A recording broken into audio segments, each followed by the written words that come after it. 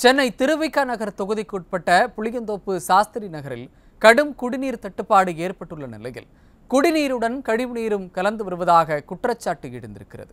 திருவிக நகர் தொகுதிக்குட்பட்ட சாஸ்திரி நகரில் ஆயிரத்திற்கும் மேற்பட்ட குடும்பங்கள் வசித்து வருகின்றன.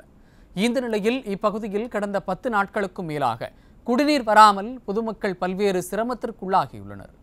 மேலும் அவ்வப்போது வரும் குடிநீரிலும் கழிவுநீர் கலந்து வருவதால் கர்ப்பிணிகள் குழந்தைகள் மற்றும் முதியவர்கள் பல்வேறு உடல் உபாதைகளுக்கு ஆளாகி வருவதாக வேதனை தெரிவித்துள்ளனர்.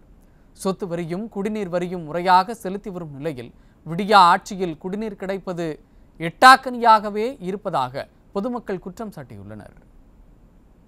சாஸ்தி நகரில் அந்த தண்ணி வந்து ஒரு மாதம் ஆயிடுச்சு சார். தண்ணி இல்லாத ரொம்ப கஷ்டப்படுறோம். டேங்க் தண்ணி வருது எங்களால் பிடிக்க முடியல. வரி கட்டுறோம் எல்லாமே பண்ணி இருபது நாளாக தண்ணி இல்லாத கஷ்டப்படுறோம். நல்ல நாளும் குளிக்கிறதுக்கு இல்லை. இப்போ புள்ளத்தாச்சி பொண்ணுங்க வீட்டில் இருக்கிறாங்க. அவங்களுக்கு இடுப்புக்கு தண்ணி போட கூட தண்ணி இல்லை. ரொம்ப கஷ்டமாக இருக்குது எங்களுக்கு தண்ணிக்கு. இது இதுவும் ஒரு மூணு நாலு நாள் இதே தான் மாதிரி தான் வருது. இதே தான் வருது. அதுவும் இந்த தண்ணியும் ஃபுல்லாக வரல. ஒரு குடம் வந்தால் ஜாஸ்தி கொய்யால. அதுக்கு மேலே வர்றதே இல்லை.